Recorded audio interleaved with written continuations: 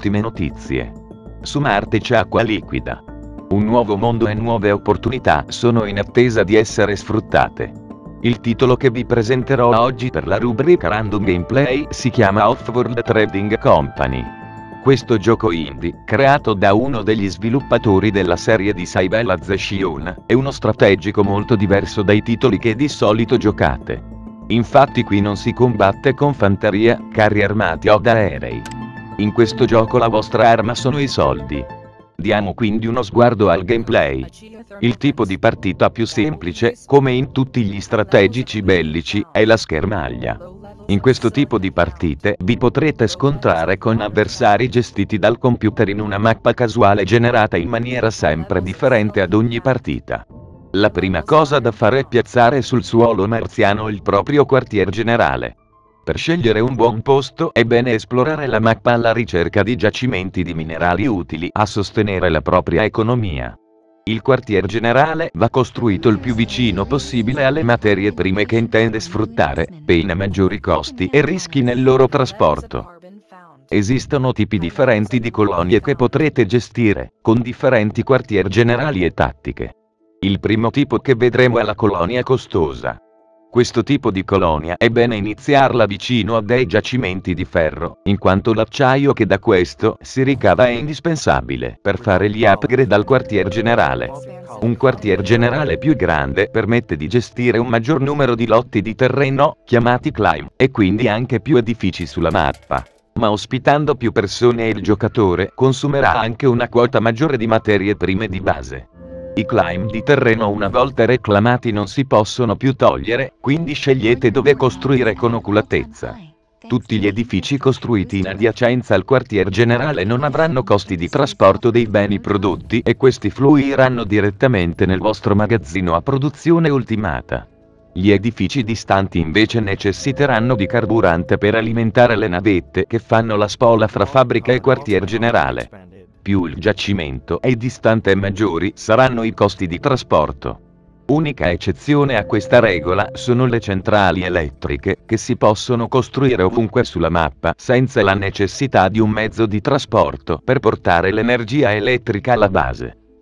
Altra peculiarità dell'elettricità è che, al contrario degli altri beni, non è immagazzinabile.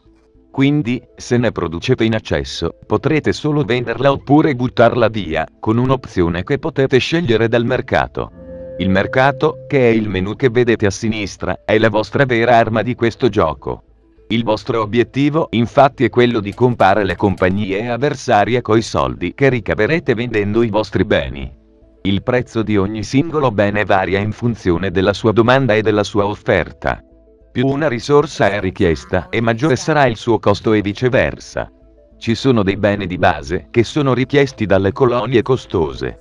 Questi sono l'elettricità, l'acqua, il cibo e l'ossigeno, oltre al carburante per muovere le proprie navette sulla mappa. Se la vostra produzione di questi beni non sarà sufficiente a coprire la vostra domanda interna, i vostri abitanti li compreranno automaticamente al prezzo di mercato, facendovi eventualmente accumulare debiti. È possibile comprare o vendere pacchetti di risorse dal mercato premendo i tasti più o meno di ogni singolo bene col mouse. Se premete assieme anche il tasto maiuscolo sulla tastiera, comprerete o venderete pacchetti da 100 unità invece che 10. Sempre usando il tasto maiuscolo potrete anche rimborsare i debiti più velocemente usando l'apposita funzione. I debiti, se non rimborsati in breve tempo, crescono velocemente grazie agli interessi. I debiti in questo gioco non agiscono impedendovi di comprare i beni di cui avete bisogno, ma, se lasciati ingigantire, hanno uno spiacevolissimo inconveniente. Nella schermata in alto a destra trovate il valore delle azioni della vostra società e di quelle a voi avversarie. Se accumulerete molti debiti le vostre azioni incominceranno a valere come la carta straccia, rendendo più facile ai vostri avversari acquistare la vostra compagnia e a portarvi quindi al game over. Il valore delle azioni è anche influenzato dalle leggi della domanda e dell'offerta. Più un'azione è scambiata e più il suo prezzo sale. Acquistare le azioni della propria azienda è quindi un modo per difenderne il prezzo. Acquistare azioni di aziende avversarie invece ne facilita il vostro futuro acquisto, abbassandone i costi di acquisizione. In gioco a volte compariranno anche casualmente delle aste. In queste aste verranno messi in palio lotti di terreno che non vi costeranno climb, ma anche cose che vedremo dopo come le tecnologie o servizi del mercato nero. Come nelle aste reali, il giocatore che offre di più degli altri si prende il servizio in palio. La cifra spesa nell'asta si va poi ad aggiungere ai debiti della compagnia vincitrice. Come forse avrete dedotto, le aste possono essere un'ottima arma sia per acquisire servizi utili, ma a caro prezzo, sia per far incrementare i debiti di un avversario molto determinato a un certo acquisto. Non si gioca sempre alla rialzo per una vittoria. L'altro vantaggio delle aste è anche la possibilità di comprare beni senza necessità di contante, visto che il loro costo incide sul debito dell'azienda, rimborsabile con calma, e non sul suo cash. Ora torniamo un attimo indietro nella partita per rivedere come funzionano le varie fabbriche. Il primo bene da estrarre è il ferro che, come l'alluminio, si estrae grazie alle apposite miniere. Il ferro viene poi convertito in acciaio dalle acciaierie. Quest'ultimo materiale serve per costruire quasi tutti gli edifici del gioco. Ogni giacimento, di qualunque natura può essere povero, di media grandezza o ricco e questo ne influenza la velocità di estrazione.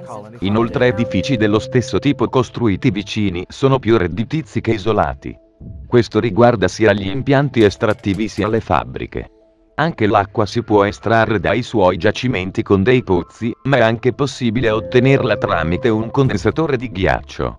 Quest'ultimo edificio è però molto meno redditizio e richiede la luce solare per funzionare. Quindi di notte è inutilizzabile. Il cibo si ottiene dalle fattorie idroponiche che necessitano di acqua per far crescere le colture. Anche carburante e ossigeno si ottengono dall'acqua usando un reattore elettrolitico. Le centrali elettriche più redditizie del gioco sono quelle geotermiche, che però possono essere piazzate solo sopra gli sfiati geotermici rappresentati sulla mappa come strie laviche. Avere una propria centrale geotermica è spesso la chiave per la vittoria. Sopra questi sfiati non può essere costruito nessun altro tipo di edificio. Altri modi più economici, ma meno efficienti, per ottenere elettricità sono le centrali eoliche e quelle solari. Entrambi i tipi di impianti sono più efficienti se piazzati ad alta quota. Le centrali solari ovviamente di notte non funzionano.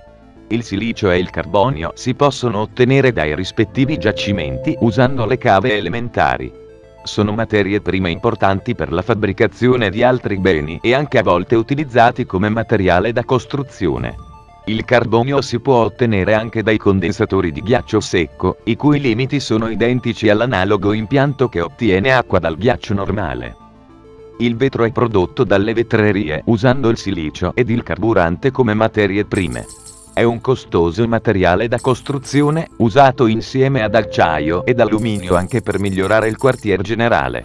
I prodotti chimici sono prodotti dal laboratorio chimico usando carbonio e carburante sono un prodotto indispensabile per sviluppare i brevetti e migliorare gli impianti produttivi.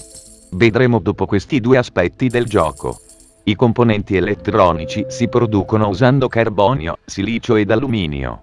Sono il bene ed il materiale da costruzione più costoso del gioco. Ora passiamo agli edifici speciali. L'array hacker, che vedete ora in azione, permette, spendendo dei soldi, di manipolare i prezzi del mercato. Per fare questa procedura ci mette un po' di tempo. Diminuire il prezzo di un bene costa più che aumentarlo. L'ufficio brevetti permette, utilizzando dei prodotti chimici, di ottenere per l'appunto brevetti. I brevetti sono particolari tecnologie che, una volta ottenute per proprio conto, non sono più acquistabili da un avversario se non acquisendo tutta la vostra azienda. I brevetti disponibili nel gioco sono questi. I superconduttori raddoppiano la produzione di energia delle centrali elettriche connesse direttamente col quartier generale. La cripta energetica permette di immagazzinare l'energia elettrica ottenuta dai propri impianti. Gli strumenti finanziari fanno guadagnare alle vostre casse un importo pari al 25% degli interessi sul debito di ogni vostro avversario ogni giorno. Il motore ad acqua fa consumare acqua invece che carburante per far muovere le vostre navette. Il moto perpetuo dimezza il consumo di energia elettrica. La realtà virtuale raddoppia i guadagni della cupola del piacere, edificio che vedremo dopo. Le nanotecnologie permettono di riciclare i materiali degli edifici demoliti. La fusione fredda fa alimentare gli edifici ad acqua anziché utilizzando elettricità. Il lavaggio del carbonio fa ottenere carbonio direttamente dall'atmosfera agli edifici che lo utilizzano come materia prima.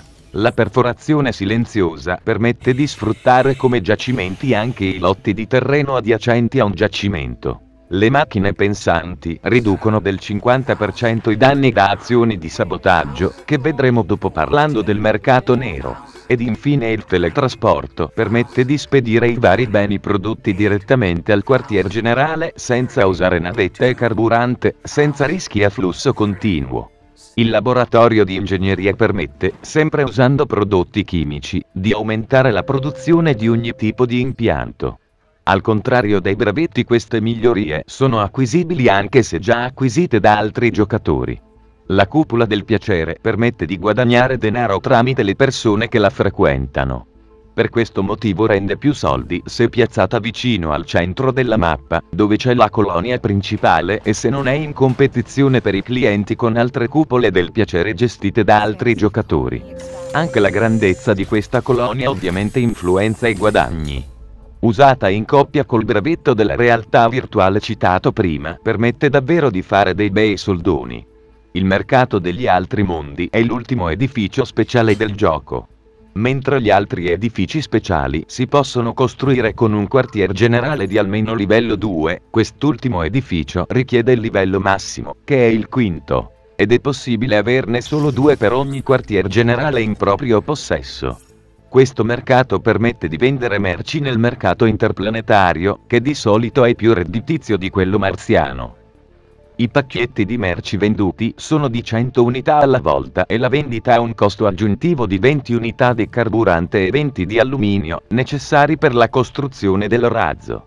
Il processo di decollo del razzo dura circa un minuto, allo scadere del quale i soldi vengono accreditati alla propria azienda.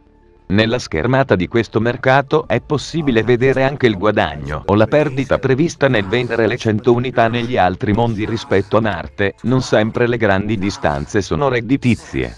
Anche se in questo gioco non si fa formalmente guerra violenta contro gli avversari, esiste comunque il modo di causargli danno con azioni di sabotaggio. Il mercato nero, raggiungibile nel menu in basso a destra, permette proprio di comprare sotto banco questo tipo di servizi. Il prezzo di questi servizi, neanche a dirlo, varia anch'esso seguendo le leggi della domanda e dell'offerta. Quindi più un determinato servizio è richiesto e più questo costerà. I servizi utilizzabili sono diversi ad ogni partita ed alcuni si possono ottenere solo tramite le aste. I servizi ottenuti dalle aste inoltre spesso non sono contrastabili dagli avversari usando le squadre di picchiatori. Le Gun Squad, per l'appunto, sono un altro servizio comprabile in tutte le partite nel mercato nero e servono per fermare azioni di sabotaggio avversarie o anche per impossessarsi del servizio che l'avversario ha voluto usare contro di voi. Nel mondo reale queste squadre sono usate illegalmente dai datori di lavoro appunto per sedare gli animi degli operai in rivolta e sono costituite da teppisti e delinquenti vari. Altri servizi spesso disponibili nel mercato nero sono i pirati, che consentono di razziare le navi nemiche, le tempeste elettromagnetiche che disabilitano edifici e navette, gli ammutinamenti per impossessarsi di un edificio avversario per un po' di tempo, gli attacchi dinamitardi e la corruzione delle Nazioni Unite, che consente di ottenere claim aggiuntivi. In gioco sono disponibili quattro differenti tipi di quartier generale e, a seconda di quale si sceglie, si avranno differenti benefici. Ora ho scelto il quartier generale robotico, prima avevo usato sempre quello costoso. Il quartier generale costoso ha tre bonus. Un punto climb in più per ogni upgrade del quartier generale, costo in acciaio degli edifici ridotto del 50% e velocità delle unità incrementata del 50%. I robot invece hanno Nessun consumo di risorse vitali, cioè di acqua, cibo ed ossigeno. Le navette usano elettricità invece che carburante. Efficienza raddoppiata per gli edifici immediatamente adiacenti al quartier generale. Il vetro non è necessario per gli upgrade del QG, si usano invece componenti elettronici. Bonus per le fabbriche adiacenti alle fonti di materie prime. Le fabbriche di componenti elettrici sono il doppio più veloci. Di contro i robot hanno un grosso malus. Utilizzano per sopravvivere i componenti elettronici, la risorsa più costosa del gioco. Il quartier generale degli spazzini permette di usare carbonio anziché acciaio per costruire gli edifici, permette di conoscere in anticipo le variazioni di prezzo nel mercato e permette di usare il mercato nero più di frequente. L'ultimo tipo di quartier generale è quello scientifico. Gli scienziati hanno anch'essi tre bonus la possibilità di costruire industrie sopra dei giacimenti di materie prime in modo da prendere gratuitamente da questi materiali necessari al loro funzionamento, una maggior resistenza alle azioni di sabotaggio ed infine un costo di brevetti e potenziamenti ingegneristici ridotto del 50%. In questa partita sto giocando in multiplayer. Purtroppo una pecca di questo gioco è proprio la scarsità dei giocatori. I motivi di questo problema li vedremo meglio nelle considerazioni finali sul titolo. Accidenti. Stavolta ho perso miseramente. L'ultima modalità di gioco ancora da vedere è la campagna. È possibile giocare la campagna con ognuna delle quattro classi di quartier generale. La campagna in realtà non ha una vera e propria storia, ma è un torneo in cui le squadre si scontrano per capire chi acquisirà tutte le altre. Le partite nella campagna però sono radicalmente diverse da quelle in modalità schermaglia. In primo luogo c'è da dire che la campagna è fatta da un numero finito di match, ambientati in diversi luoghi di Marte. I primi serviranno a fornire un budget alle varie compagnie, i successivi sono match eliminatori, in cui verranno fatte fuori le compagnie col budget via via più basso e infine il torneo si conclude con una partita non dissimile da una schermaglia, in cui ognuna delle quattro aziende finaliste cercherà di acquisire le altre. Altra differenza con la schermaglia è che, prima dell'inizio di ogni match, si dovrà non solo scegliere il luogo dove competere, ma anche gli operai da utilizzare nella partita.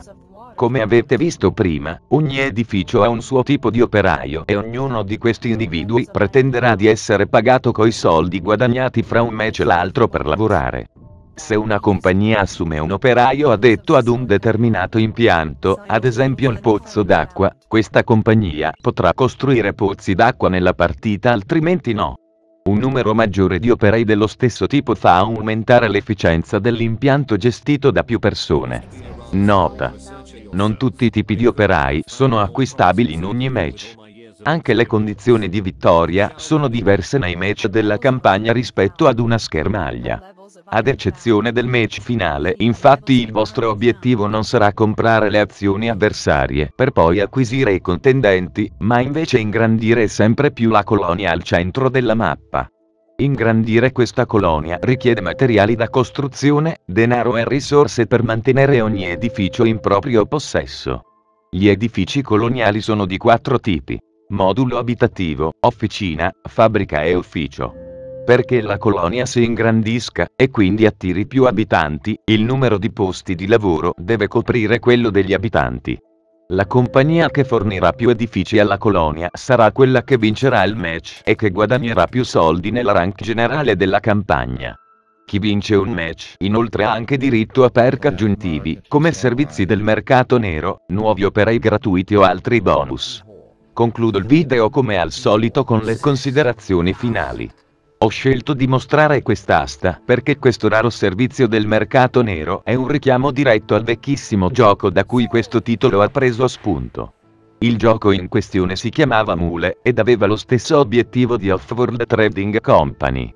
Le differenze? Il pianeta dove era ambientato non era Marte, ma Itara. I mule in questo vecchio gioco erano unità di lavoro robotizzate usate dalle varie compagnie per procurarsi le risorse e il nome Itara altro non è che l'anagramma della console su cui il gioco girava. L'Atari. Quindi sì, Off-World Trading Company in realtà non è un'idea originale come chi lo conosce spesso crede, ma un remake. Lo ha dichiarato il suo stesso autore. I problemi di questo titolo ora in fase beta, Beh, innanzitutto come già detto la mancanza di giocatori. Mancanza sicuramente da attribuire alla peculiarità del prodotto, tutt'altro che semplice al contrario di quanto detto da alcuni, così come alla mancanza di informazioni su come giocare. Molte cose che avete visto in questo video le ho dovute imparare da me perché manco c'erano nella wiki inglese del gioco. Ma il principale problema è però secondo me un altro, e ve lo sbatto a schermo ora. Come cazzo pensi di vendere con successo un titolo così elitario ad un prezzo simile? Le cose sono due. O sei una persona che vuole tenere il prezzo alto nel beta testing e poi abbassarlo dopo in modo da avere solo tester fidati. Come è stato fatto ad esempio con Planetary Annihilation. Oppure più facilmente sei solo un pirla montato come tanti sviluppatori indie. Non devo dirti cosa devi fare, ma se vendi solo nel periodo dei saldi forse qualche domandina non te la fai. In tutta sincerità a me il gioco è piaciuto, ha un gameplay molto particolare che non esiste in nessun altro titolo recente e non ha praticamente bug, ma se volete comprarlo per carità fatelo solo con i saldi, come quelli che ci sono in questi giorni su Steam. Se volete il mio parere, questo gioco 20 euro li vale tutti. Ma 40 assolutamente sono un furto. Se volete invece far abbassare il prezzo, beh caro sviluppatore, non è stata una buona idea fare un gioco che insegna a muoversi in campo economico. Ora sapete tutti cosa fare. Potete diminuire la domanda non comprando il titolo e sperando che a furia di non vendere il nostro amico rinsabisca, mettere il gioco nella lista dei desideri senza comprarlo, oppure usare il mercato nero che ognuno di voi su internet sa come raggiungere per ottenerne una copia per evitare accuse. Io il gioco l'ho preso originale. Arrivederci alla prossima.